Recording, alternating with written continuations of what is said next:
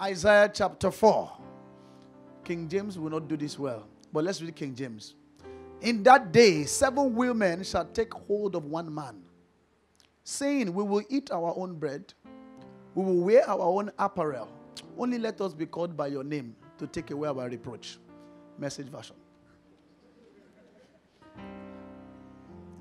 Message version. Who went to verse 2? I said message version.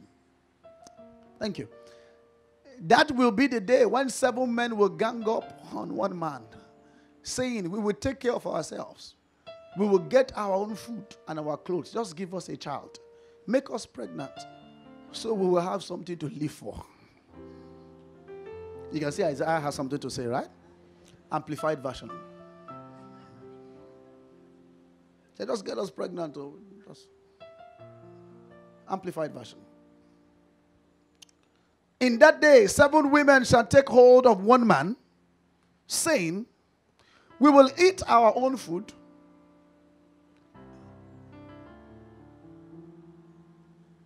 We will eat our own food and wear and provide our own clothes.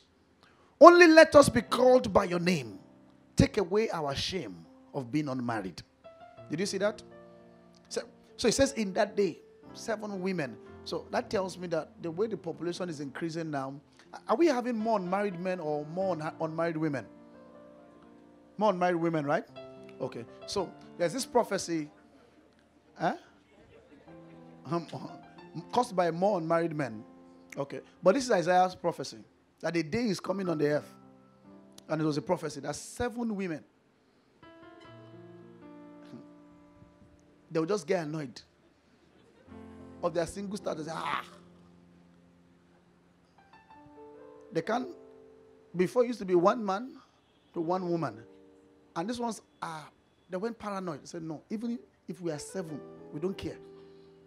Seven girls on one guy. We will die there.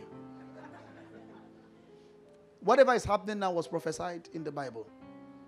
Said in that day, seven women. And he said, it's not that they'll go and toast them, they will take hold of their garment. They will hold them and say, No, this is a journey of um, hmm, anybody who can win this battle will win this battle, but I don't care. I said, But I'm in a relationship, I don't care. I said, I'm married, forget that one. You're married, are you happy? Hmm. I'm a Christian, forget, I'm also a sister. So seven women, no shame. Erykah Badu generation, no shame. They will hold a woman by the skirt and they will say, This is our negotiation. And I want to talk about negotiation. This is our negotiation. We've got money, we've been working. So don't think it's because of your money we want to marry you. We are making money. Hmm. We'll pay house rent, pay for food in case we can see that you're not doing too well. We pay for your food, we pay for the house, we buy clothes. The only thing we want is that just marry us. Just give us your name and take us from the reproach of being unmarried. Ah, when I saw that scripture, I laughed. I said, You mean this kind of scenario exists in the Bible? So I know another pastor will tell you that what this means is that in the last days, the seven unbelievers will run after a righteous man. And they will say to you, Show us the way of the Lord, so that we might do the things that you say. That's another translation. Eh, but they, me, I've read three translations now. I didn't see unbelievers and unrighteous. Sometimes you just have to be simple about how. They, don't try to interpret what God has not interpreted. When the Bible says, "If the righteous, if the foundation be broken, what shall the righteous what do?" Christians have had a way to finish that proverb that God didn't finish. Say, if the foundation be broken, what shall the righteous? They say, "There's nothing the righteous can do." Who told you? The person that started the proverb, he didn't finish it. He stopped because there's no answer. Then you decided to continue and say, "There's nothing the righteous can." Who told you? There's nothing he can do. Grace can do anything for him. So the seven women said, We will follow after one man, and we've got everything that we need. And the first point I want to bring out from that scripture is the principle of negotiation. for every, I mean, you may think that what was happening there was just overdone, was overboard, or something. No, that's not what was going on. What was going on is that this girl saw this guy. I like this guy, and I love to just express my mind. Excuse me, is there anything wrong with a girl telling a guy how she feels? Is there anything wrong with it? There's nothing wrong with it. She was bold. Guy, I like you. I've got money. But she wasn't forcing the guy. And she wasn't, it wasn't a force. The issue was that she was negotiating in case you don't like it. It's not a force, you can go. But she was showing some level of doggedness and tenacity. I mean, in the Bible, you could find out that even Ruth helped Boaz to speak. Amen. There are some men, they have something in their heart, but they will never talk. But you know they love you. I'll tell you something about the random and regular guys from that scripture and why that woman had to behave that way. So she said, This is our own proposition. We are negotiating. What do you think about it, this guy? Because every relationship is a transaction.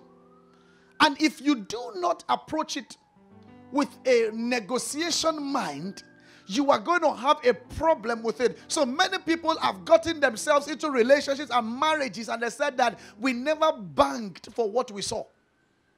Or you're asking yourself, how did we get here? How did it get to the point where we are fighting every day? How did it get to the point where we enter into physical abuse? How did we get to the point where it's verbal abuse every day? I canceled somebody and I said to myself, My God, I never believed this can ever happen to this person in my life. I just never believed this could happen to that person. And I was shocked. For some, it's medical negotiation. All kinds of some things we overlook. And it's in business, what you don't negotiate properly, whatever becomes your benefit, you receive it with a good heart. You cannot come back after a negotiation and say, Sorry, I misnegotiated. There's nothing like that. Please, can we renegotiate? No, there's nothing like that. Once you stamp it, and marriage is a way to legally say that what we have negotiated is final. So the moment you get into that, your negotiation is fine. And one of, one of my concerns is that how come a lot of people who are not married, they are excited to get married? They're excited. The way they are running. The people who are in marriage, they're saying this thing is overhyped. They are not even excited. Because in marriage, it's not excitement. Are you living by excitement in marriage? Uh, we live by commitment. It's different. It's commitment. It's not like it's when you are not married that your your hormones will be running as if they don't have direction. Be running anyhow, running. You can do like a mumu for anybody, do anything. The way you you are wired at that point, you are not okay. There's a measure of insanity in your brain. You can do what you normally would not do for the girl. You can catch grenade. You see a young man who naturally is principled, you know, who doesn't do some things. When I when I was going to look for my wife in the office, myself and somebody in this church, we were going in the car. And that time I didn't know that route. In fact, my wife opened my life to that. I didn't, there's some places in my life that I don't think I would ever go to. Ajuwon, Akute, Ojodu Berger. Now I know those places very well. One day I was going, myself and this guy were going in, in one overheating Sienna car. We, we stopped like 15 times. My, you know that car. We stopped like 15 times on the road. You know, when the car will stop, we'll cough. We wait, we bless God for some cold to come upon. We pour water, we anoint it, we continue the journey. You know, we did that. We now spend, you know, that Berger roundabout hold up. That hold up is demonic. And your car is overheating. Everybody passing on the road, they are just blessing you with their hands, giving you high five like this on the road. I stopped in the car. I said, you know what? You come with the car, I will take a bike. In my see, in my life, people know me I will stop and take a bike. So, but those are the things we do for love. I, I got there. My wife said, "What's the time?" She did like this. What's the time? You know, because you know there's something you're looking for, you calm down. Everything in my vein was standing up. Are, are, you okay? Do you know what I went through to get here? I even took a bite. I mean, she didn't even ask me, say, What's the time? Just, I was 15 minutes late, 15 minutes. Me that you can come to my office, can wait for me 30, 30 minutes. I won't apologize. And she forgot that when she comes to my, before we started dating, when she's looking for me, she can stay one hour and not see me in the reception. And she won't feel anything. And she, after that one hour, she even come in and say, I'm sorry, I, I know you have a lot of things to do, but I, I just, I, I thank you for this opportunity. She will wait one hour.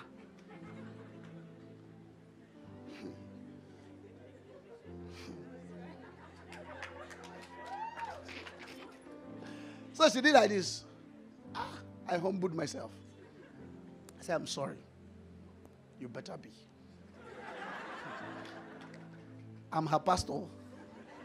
She will come to church on Sunday. She will hear the word of God. If I say stand to your, she'll stand up. Say lift up your, you lift up your hand. But the moment you are out of church,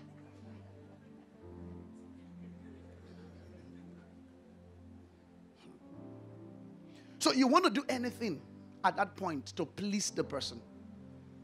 But negotiation is very important. Before you get into any deal, negotiate what you are going into. If you if what you are negotiating is not what you want, get off the deal. Once a deal is signed, it is signed. Many people have gotten into deals now that you are asking yourself, how did I get into this kind of deal? There are many people who are married, but they're just flatmates. They are living together. They're not enjoying marriage. The husband lives in one room, the wife lives in the other room. They only come together to pray in the sitting room, watch TV in the night. Everybody returns back to their room. That's what you negotiated for. I grew up seeing my parents like that. And they're not fighting, no. As in, they're normal. They are okay. But they have two different rooms. When I asked my mother, I said, My load is too much. He can't accommodate my load in, this, in the room or something. And, my father said that I want a place that is sane. I don't, I, you know, so they had two rooms. Uh, when they asked them, because what if you're living in a one room apartment? How will you do it? Because there are some things we allow, and the devil just plays on our intelligence. Negotiating. Because marriage is when you now begin to reinforce your negotiations. So, for the married people, you're talking about your negotiation. No, for the unmarried singles, you're talking about your negotiation. For the married people, you're talking about reinforcement of negotiation. That's what we're doing every day, reinforcing the negotiations. Come, this is our deal. This is what we came together. So we need to maintain this, want to maintain that. We have to do this, we have to do that. Negotiation. As a guy, you met a girl. All you wanted was beauty. You just wanted a fine girl. That when you walk with her on the road, people will admire your girlfriend or your wife. That's what you were negotiating for when you were toasting her. Now you are married. You are married. You are, she, you are saying, please, can I have some more to eat? And she's telling you, I, I, I just did manicure and pedicure. I can't cook. When you were wooing the girl, did you find out if she could cook or not? It will be wicked because if she doesn't know how to cook, and at that point, you are not saying, what, what do you know as a girl? What do you know? All you know is to do beauty. Is that what you signed for? There are some people that, see, I can't cook. I'm, la- I'm a lazy girl. I'm lazy. I can't cook. But if you want beautiful girl, you can use me as a showbiz for your friend. Take me out to parties. Take me out on the road. When we are going on the road, people just be looking at us. I will cause an attraction for our family. Some people, that's the purpose that they, you are laughing, I'm telling you. That's the purpose. So I, I can't I, I, I can't deal with raising children. Get four nannies. One to take care of me, three for the children. I cannot stress myself. So when so you see a guy now who is not very okay, now toasting a girl who is very okay, and you don't negotiate completely. You're not negotiating completely, and the girl tells you, Are you going to change the way she has been wired up? I mean, I used to have a vice chancellor at university who told me that she told her husband day one, You will really not find me cooking. And the guy said, I don't mind. He said, I'm not marrying you because I wanted to cook. Of blessed memory now. I'm, I'm marrying you because of other things. That's negotiation. So when you go to the house and you see the chef cooking, and you now be saying this woman chef, she's lazy, she, it's not your business. That's what they signed in for. Why are you now calling for something you didn't negotiate for before marriage? There are some people, you see, the way their hand, the way the girl's hand is, the way the nails are, you know, she doesn't want anything to come near. So, sorry, I, I can't get pregnant. Say, why? Do you have any complication? No. I want to look slim, sleek for you. I don't want anything to affect our body shape. Can we adopt? Then you know, say, is anything wrong with you medically? Say, no. Me, I am okay medically. Why should we adopt? The girl said, I cannot change my. You see, the moment I have a child, my body shape changes. You are laughing, but you know that happens. It happens. Not everybody wants to get pregnant. So, in case it's fine girl that you are looking for, or fine boy that has a Range Rover. On Thursday, I was talking about the girl who bought range spot for the side chick. I won't tell you that story. You need to get the tip. So, you saw a guy. What you saw is money. Ah. We die on this one. So, are you in a relationship? Yes. Serious relationship? Yes. But you, do you guys have plans? We're on it. Then you hang around. You saw money. You went to his house. Immediately, in the twinkling of an eye, in one minute, all the poverty existing in your family, you just saw it just fade off. And you saw the hand of God bring you to prosperity. In one minute, when they went to bring wine, and before he returned back from the wine, you have caught visions of heaven.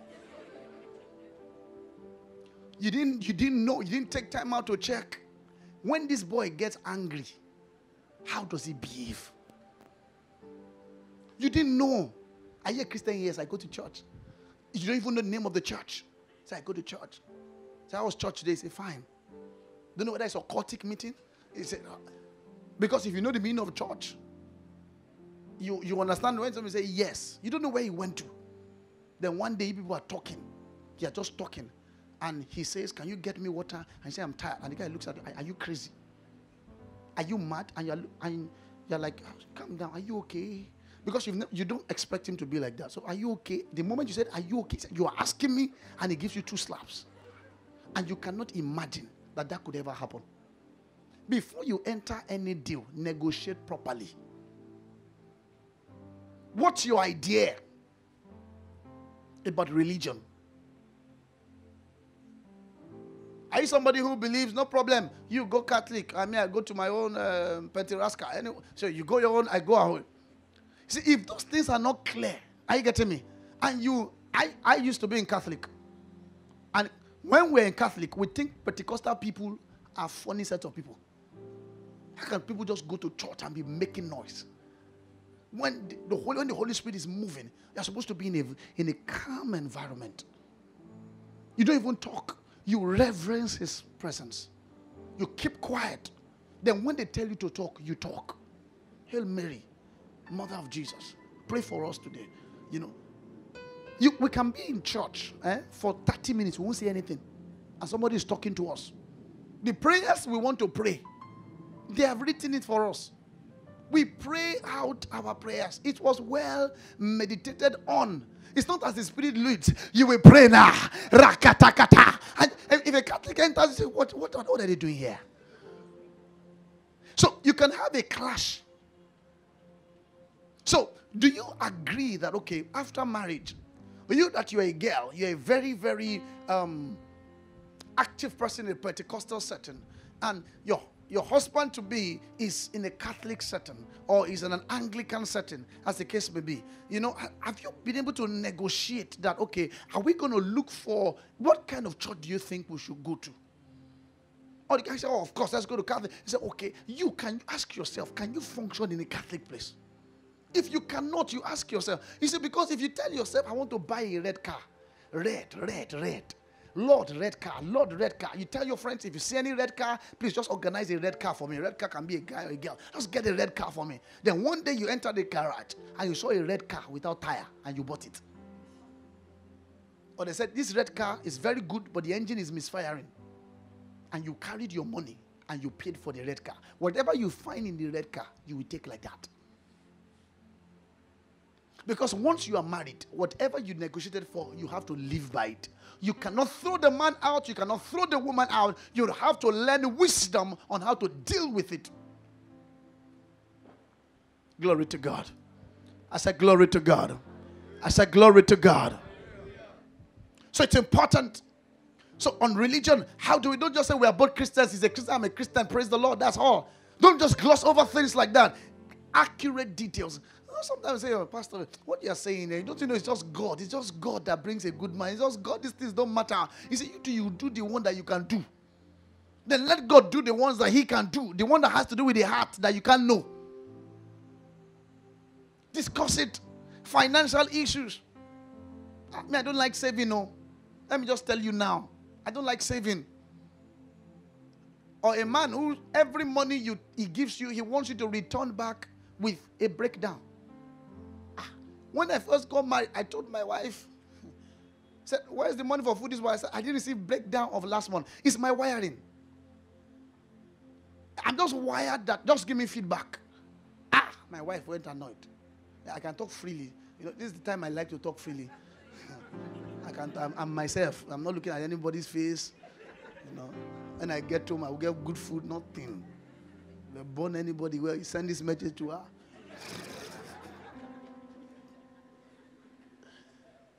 I said, feedback. He said, no. In the house, they, they don't do the, those kind of things. Ah.